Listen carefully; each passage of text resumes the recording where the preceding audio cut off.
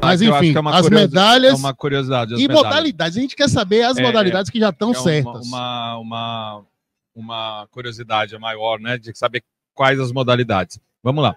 Primeiro que a gente deve iniciar nossas atividades esportivas com o início do novo ciclo olímpico, né? Passando as Olimpíadas de Paris, que acabam em agosto, inicia o ciclo, o novo ciclo olímpico para as Olimpíadas de Los Angeles em 2028.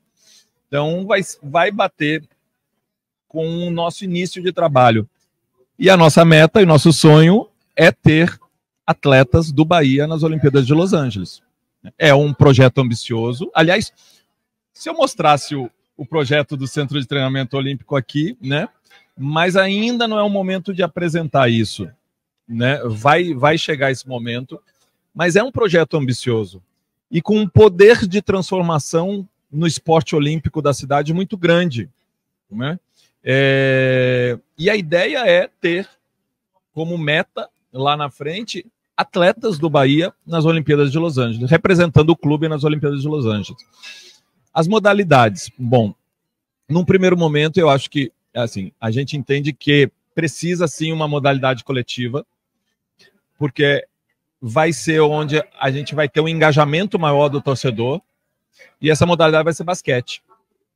Né? A gente tanto é que o nosso centro de treinamento vai ter quadra de basquete, vamos ter o basquete 3x3, que é uma modalidade olímpica, que, que é, é, é um basquete urbano, que tem tudo a ver com Salvador, o 3x3, né, o X3, basquete X3, é mais fácil de jogar, com menos gente, com uma, com uma tabela só, e eu acho que pode muito virar febre, eu acredito que pode virar uma febre aqui na cidade. E o Bahia vai estar tá entrando muito forte no, no basquete X3, mas no basquete de, de, de quadra também. Logicamente, para participar de uma NBB, precisa de um, de um orçamento de para participar, sem brigar por título, no mínimo 4 a 5 milhões de reais ano, para vocês terem uma ideia. Para disputar título, de 10 a 15 milhões de reais. Ontem eu tive uma reunião com o diretor técnico da Liga de Basquete Feminino, Brasil, é, Liga de Basquete Feminino. Os, os números financeiros são bem mais é, baixos, mais modestos para participação, mas a gente já iniciou um entendimento de uma possível participação do Bahia no, na Liga de Basquete Feminino. Então, é a modalidade coletiva que a gente vai investir inicialmente é, vai ser o basquete. Paralelo a isso, numa primeira etapa, o tênis de mesa, a maratona aquática, né, o, o break dance, que é uma outra modalidade que eu acredito que tem a cara de Salvador, por ser dança, tem tudo a ver com baiano. E para quem não conhece, é uma modalidade olímpica. E em Paris, agora, a gente vai ter a oportunidade de conhecer melhor essa modalidade. E eu acho que também tem tudo para ser uma febre em Salvador, o break dance, né? É, e o Bahia vai ter sua equipe de breakdance, escalada, vai ter boxe. E eu acho que uma coisa muito interessante de falar, assim, nós estamos conversando, e aí vem Ricardo, do vôlei de praia. Ah, agora que a gente vai conseguir os cortes. Estamos, Break news. estamos conversando com o Ricardo, do vôlei de praia. Estamos conversando com Ana Marcela, não diretamente com ela, mas com os pais dela, que fazem o, o, gerenciamento da carreira e do Instituto Ana Marcela. Estamos conversando com Herbert Conceição, do boxe, nosso medalhista olímpico. Popó não dá, né? Não. E é- todos, Porque Popó é vitória, né? Grande To- expoente do boxe, mas é. todos eles torcedores do Bahia, né? Todos eles atletas referências olímpicos, medalhistas e todos eles querendo muito estar presente nesse projeto olímpico do Bahia. Então nós vamos ter sim o apoio dessas dessas lendas do nosso esporte. Pronto, mas como? Eles serão treinadores, embaixadores, consultores? Qual é o papel desses caras? Oi? Porra, três campeões olímpicos, né? O Bahia Olímpico já nasce já nasce Sim, agora saber qual vai ser o papel deles. Pode respirar, fique tranquilo. respirar. Enquanto isso eu canto. Até- Eu quero like, eu quero like, eu sinto o dedo like, agora vem bomba! Respirar, até porque ele, ele não deixa barato, né? Justamente, a gente tem Olha o conversado. suquinho ali. Pode beber o suquinho também? Pra descer o, o rango. a gente tem conversado de que forma eles podem estar inseridos. O Ricardo não joga mais. O Ricardo não mora mais na Bahia. Ele mora fora do país. Mas ele está trazendo uma metodologia, né, um projeto já montado, estruturado, o nome e assim vai ser o embaixador do, do nosso vôlei de praia. O Herbert Conceição tem projetos aqui em Salvador do boxe que quer fazer junto com o Bahia. Ana Marcela tem contrato até o final do ano com a Faculdade de Santa Cecília de Santos, que é um contrato que já tem 10 anos. Ela é atleta da Faculdade de Santa Cecília, mas se encerra no final do ano. Pode ser que vire uma, uma atleta do Bahia? Pode, mas ainda não é uma certeza de que forma a gente vai fazer isso.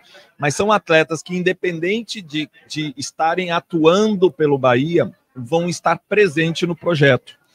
Né? Então, isso é só para ter uma, uma noção. Nós estamos conversando com todos eles, com todos os tricolores que fazem ou já fizeram sucesso nas modalidades olímpicas, para que eles se engajem e tragam a experiência deles nas modalidades que eles atuam. Não, e isso é importante porque, assim, além da questão do conhecimento técnico, de ajudar o Bahia a, a formar, né, é, é, é, os seus departamentos nessas modalidades, né, tem uma questão simbólica que é relevante demais, né, porque é o caráter do projeto, né. Se você tem esses caras como inspiração, você já larga na frente. E outra, e, e- e estímulo também, estímulo para atletas quererem participar dos mais diferentes níveis e, evidentemente, também credibilidade para buscar grana. Né? O, o Darino, ter ídolo é de fundamental importância. O que é importante ter um Everton Ribeiro no time do Bahia hoje? Quantas crianças se inspiram nele? Quantas crianças idolatram ele? É, ter essas referências olímpicas no nosso projeto vai fazer com que muitos, muitas crianças que gostam de basquete, de boxe, de natação, de coisa, venham para perto, se inspirem, porque vão ver a, possibilidade de estar em contato direto com essas, essas lendas do esporte. Então é fundamental a gente ter atletas desse nível dentro do projeto Bahia Olímpico. É, Emerson, falando sobre campeões olímpicos, a gente tem, tem campeão olímpico também em outras cidades da Bahia. Eu queria saber se no segundo ou terceiro é, plano aí, a gente está falando muito de Salvador, mas o Bahia é um time estadual, né? Então, como é que você pensa essa questão dos, dos esportes olímpicos fora de Salvador? A gente tem o, o, o sul baiano ali, que é uma meca da canoagem, Itacaré, é, Surf também, né? Baitaba, Que tem surf outros também, né? lugares que tem surf, né? exatamente. Muito E- desenvolvido. Itacaré também, mesmo Itacaré, o Baitaba, é, toda aquela região ali, que é muito forte na canoagem, com atletas campeões olímpicos, como, como Isaquias e outros medalhistas, e agora tá levando uma equipe muito grande para Paris. Se não me engano, são seis atletas baianos que estão indo para. O Isaquias é atleta do Flamengo. É, Isaquias é um atleta do Flamengo. né? Já era no, no- lá no Rio e segue sendo atleta do Flamengo. Então, como é que tá esses planos? Existe esse plano a, a, a médio e longo prazo? Existe sim, né? Até porque a gente precisa ter atletas, né? talentos que apareçam fora do- de Salvador. É uma das, das, das parcerias que a gente pode ter com o governo do estado, né? Interiorizar o projeto olímpico e também com as embaixadas do Bahia, que são inúmeras no interior do estado. Envolver esses tricolores nesse projeto olímpico. Então, para um segundo momento, a gente tá vislumbra essa expansão, logicamente. No primeiro, a gente precisa botar primeiro ter a nossa casa, iniciar as atividades, né? Ampliar essas atividades e aí voltando à sua Darino, que você perguntou, nós vamos ter projetos sociais, né? Um trabalho social muito forte, até porque é uma contrapartida à prefeitura, por exemplo, que é nossa parceira, também é uma contrapartida ao governo do estado, que também é nosso parceiro. É, a partir dos projetos sociais, a detecta- detecção de possíveis talentos, né, de talentos, a formação de atletas e o alto rendimento. Então a gente vai ter as três, os três pilares de um, de um projeto esportivo dentro do coisa. Volto a falar, isso tudo está saindo do zero. A gente está criando tudo isso do zero e nós temos só quatro meses de trabalho. Ainda é um projeto que podemos dizer que a gente plantou, está plantando as sementes e que vai germinar dentro de pouco tempo. Eu quero like, eu quero like, eu quero like, eu quero like. Like, eu quero like, eu quero like, eu quero like, eu quero like. É a música do carnaval.